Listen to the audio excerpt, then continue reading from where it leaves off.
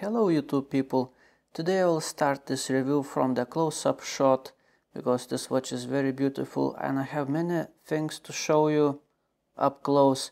And later on I will show you how this watch looks on a person from a distance with lots of different straps. So yeah I have a lot to show, a lot to say. It's probably gonna be one of those long videos so pause the video go make a cup of tea, grab some cookies, and let's have some fun. Let's start with some measurements. So zero in the calipers. Yeah. What's the thickness of the watch?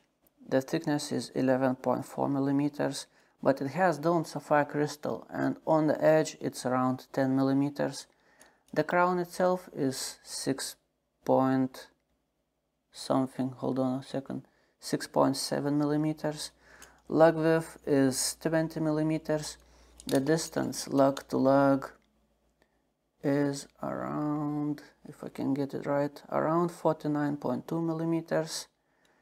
And the diameter of the watch if I measure from 8 and a half pm to 2 and a half pm is around 41 millimeters. Well I wanted to show you how this balance wheel looks like when the watch is out of power and the balance wheel is completely stopped and stationary but I flipped the watch and it started going once again. So that's how it looks like when it's basically completely out of power out of juice and it still barely runs. So this uh, balance wheel is not moving full rotation. It's, it's almost stopped. Okay while I'm waiting for this movement to stop completely Let's talk about the looks of this movement. Well, this movement looks really interesting, very intriguing, but I wouldn't call it beautiful. You see, there are two problems. One is probably very subjective and another is objective. Subjective problem is these uh, are these engravings, this star in the middle. I don't really mind those engravings over the edge, but this star engraving in the center, it kind of cheapens the look of the watch. It doesn't play out with anything on this movement. It doesn't look cohesive. It doesn't add anything. And in, in my opinion, this star engraving in the middle just cheapens the look.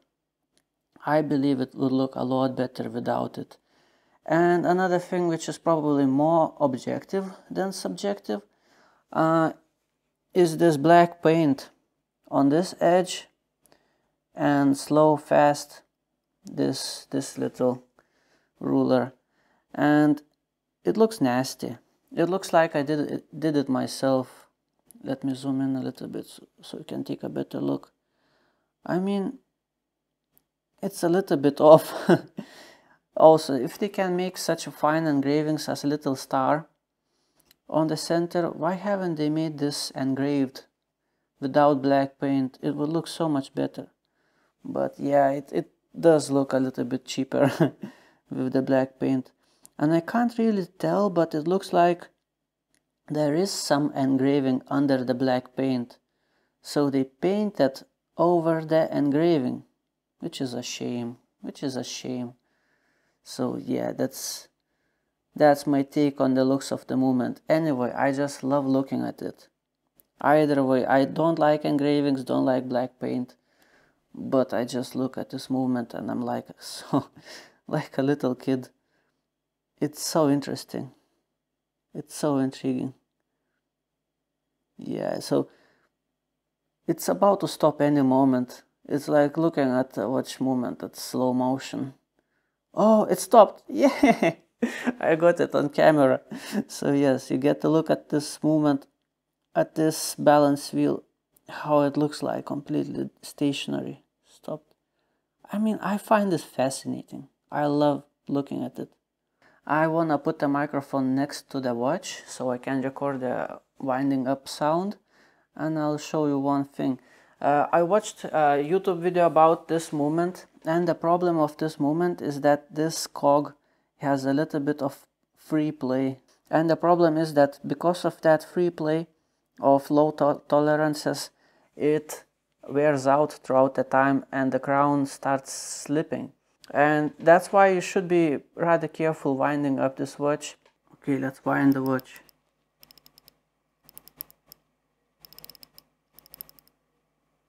No, I don't normally wind like this. I usually wind like this.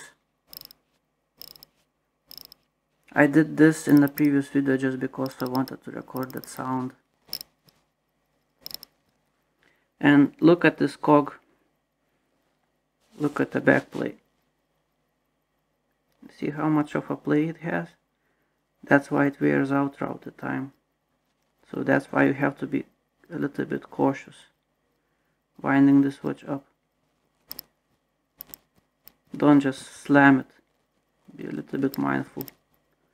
And it may last a little bit longer.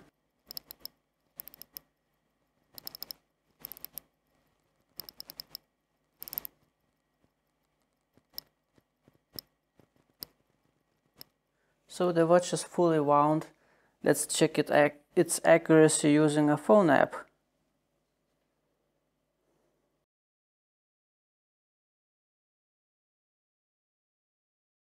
So plus 5 seconds and 0.9 bit error.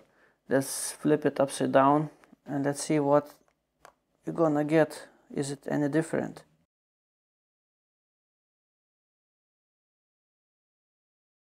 So yeah, once again, plus 4 plus 5 seconds and bit error 1 millisecond. Yes, not the most accurate measuring tool, but I'm very happy with the results. So I have showed you the movement up close, now it's time to show you the dial. How is the dial? Well, it's very beautiful dial. I'm not sure about those blue hands though. I believe it would look a lot better with just fully black hands. And these blue hands just somehow cheapen the look in my opinion, but that's, that is just my opinion. Either way, it looks really, really beautiful, this dial. And speaking about the white paint, it doesn't look like it has any lacquer on top. It looks like there is just a thin layer of white paint on glossy finish metal piece. And it doesn't look cheap, it looks alright. It looks alright. But it's not some kind of a lacquer finish. It's, it's, it's shiny, but it's shiny as metal is shiny in that way. And speaking about, about the color, this white paint has a little bit of a antique shade I would say like it's aged a little bit for example I don't know if it if the camera will pick that up but this Casio has completely white dial it's as white as it can get and this big watch has a little bit of a yellowish kinda brownish shade at some angles. That's may maybe that's because of a sapphire crystal I'm not sure. Also the sapphire crystal has blue anti-reflective coating as you can see. So yeah maybe that's because of sapphire crystal but I'm, I'm not saying that in a negative way that it has some kind of a shade. I think it fits the character of this watch very well it looks like it's aged a little bit. I'm just pointing out the fact how it looks like. Also look at the insert of a seconds hand. It has this little crest. It looks so nice. And I'm not sure if camera gonna pick that up but those black numbers they are printed in a very thick way. I can see the thickness of this black paint with my naked eye I mean it does look premium it does look expensive it's it's very nicely finished Hello YouTube people once again. Let's do this little fashion show where I'm gonna show you this watch on many different strap options. But before I begin I'll tell you one thing. The area of this watch that touches the wrist is rather large and very flat. Well, because of that, the watch feels very stable, very secure, and it feels a lot smaller than it actually is. But the negative thing of that is that uh, the wrist gets warm and sweaty in that place and you see this is a, a, big area that actually sits on the wrist and it's very unbreathable that's why I prefer wearing this watch on some kind of single piece straps so that the watch sits actually on some kind of a stri uh, on, on a strap and it feels a lot better that, that way. And this is original strap that this watch comes with. It's um, it's not that bad. It's not that bad. It's a little bit like a, a, a plasticky leather you know what i'm talking about. But it's actually flexible and doesn't feel that bad I, I, I doubt about its durability but i mean i i didn't buy this watch because of the strap obviously. Anyway can't tell bad things about the strap buckle everything. Looks fine. Yeah. This color may be not for everyone but you know what? Let's actually swap swap to the black one. Let's see how it looks like and this is the black leather strap.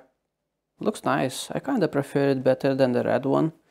So while i i keep showing you different strap options and showing you this watch from the distance i want to tell you the story why i have why have i bought it what research have i done about this watch etc etc so there is something to talk about. Also let me zoom in because with this wide angle you don't see true perspective how the watch looks like my wrist size is 16.5 centimeters and now it doesn't feel too big does it look too big well, we're gonna talk about that a little bit later.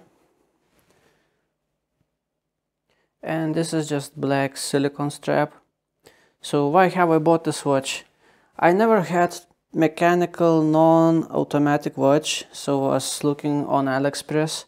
And this watch instantly got my attention because it looks like nothing else. It looks very interesting. It looks very antique. Well, to be honest, I can't really tell a story while changing straps. I'll just sit down and tell you how it is. So I wanted mechanical watch, non-automatic, and this one popped out on AliExpress as it looks really beautiful, but it has no logo. So I was afraid that this could be some kind of a fake watch because it could could happen on AliExpress. We all know that, and I couldn't do a review on such watch. It's it's dangerous. My channel could be deleted if by mistake this could be some kind of a fake watch so i did my research on google using google imaging search etc etc ended up learning quite a bit about horology of about watches how pocket watches were converted into wrist watches and why when it's like it's, it was fascinating. It's about first world war uh, how soldiers were converting pocket watches into wrist watches. And you see this watch has a pocket watch movement. So it kind of is a homage to that era because using google image, images search and all kinds of search i have found multiple watches from that era from the first world war to the second world war there are multiple very famous brands making this kind of design. It was just the design of that era. And all those brands were making just tiny differences between there are only tiny differences between different brands. Some may use uh, roman numerals some arabic numerals. Uh, hands may be a little bit different. It's like uh, tiny differences. And they all were like copies of each other. So i haven't found exact watch that this watch would copy. So i would say that this watch is just a homage to that era from the First World War to the Second World War. And I would say it's actually very cool. And the reason it, also the reason that it has a pocket watch movement it makes makes it super cool. I mean I speaking about the size I always say that this kind of design, you know, dress style watch being this big is like a dinner plate watch, it's like a fashion watch, but the reason that it's a homage to that era of watches, that it has the movement of, which resembles that era as well, it's like super cool. It gets a pass from me. This size, it gets a pass from me. It, it can't even get smaller than that because the movement wouldn't fit inside. I, fi I find it fascinating. I never cared about horology or things like that, but this watch made me watch a lot of YouTube videos about pocket watches, about trench watches, about all those things. It's like I find it fascinating. So this watch actually uh, made me interested into horology. so interesting thing. I really hope I'm not mistaken. If you know exact watch that this watch copies or, or makes a homage of, let me know in the comments. But it has to be exactly the same hands, same font, everything the same. If you know famous brand that makes this kind of a watch, please tell me in the comments. Because I could be wrong. I'm no expert, I'm no collector. I just buy watches and have fun. So how is it? How is it to own mechanical non-automatic watch? How does it feel like? Is it a chore to wind this watch up? Is it difficult to remember that you have to wind your watch up? Uh, let me put it this way. For example, this is quartz watch, right? It's something like family car Family car with automatic gearbox. It's super convenient, comfortable family car. And this Invicta Pro Diver with automatic movement is something like Chevrolet Corvette or Ford, Ford Mustang, very powerful, fast car with automatic gearbox. I mean, what's the point? Why, why would even, why would anyone would even buy something like that? a fast sporty car with automatic gearbox. I will probably never understand such things, but this watch is the same Chevrolet Corvette, it's, it's the same Ford Mustang, but with proper mechanical gearbox. with three pedals. That's how it feels like. That's the analogy I could make to this watch. If you never had mechanical watch, fully mechanical, non-automatic watch, it's a must try. If you like these automatic movements, oh my god, you're gonna love this thing. You're gonna love a watch with mechanical movements so much. I mean, winding it up in the morning, it's like something people look for the next morning so they can get a cup of coffee, a morning cup of coffee, so they look forward for the, for the next morning. Me, I look for the next morning so I can wake up and wind my watch once again. And I don't wind it too much so I can wind it again once again next morning. That's how it feels like. It's wonderful. It's amazing. I look forward winding this watch again and again. It's like some kind of a fidget toy which you like clicking constantly or spinning constantly. It's, it feels that way. It's just a pleasure to do that. It's amazing. You might have a question right now, why I even buy those automatic watches, if that's my opinion about them. Well, you see, the problem is that, for example, I want something like this, yeah, with sapphire crystal, with ceramic bezel, and I want quartz movement. There are no such things really. There aren't really many quartz nice watches to choose if I want something like this. And there are several things. You see, if I buy something like this for review, after all the planned videos are done, I have to sell this watch eventually. And good luck selling something like this with a quartz movement if it doesn't have a, a Casio name on it. You're gonna lose a lot of money. But this one with automatic movement, no problem selling it, especially with Seiko, Seiko movement. So yeah, two reasons. Can't really find any nice quartz watches and it's very difficult to sell a quartz watch that doesn't have a Casio name on it. Uh, other than that, if I would be buying just for myself, right now I have this opinion. It's either quartz, uh, very accurate, reliable, super good, or completely mechanical, hand windable, non-automatic, like this. I don't care about accuracy of this watch. I just enjoy the the movement itself. Like with automatic watches, I do care about accuracy and it kind of bothers me if it goes too fast or too slow. It's annoying. I want quartz.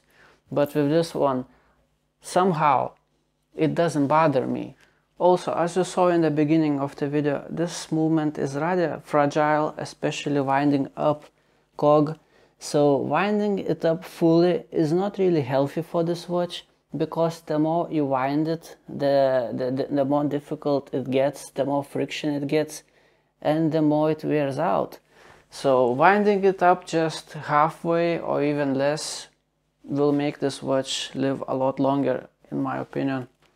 So yeah, that's, that's how I preserve this movement. if I decide to keep this watch at least at least it's gonna live a lot longer than it would if I would wind it up all the way all the time. I would like to mention one more thing about this watch.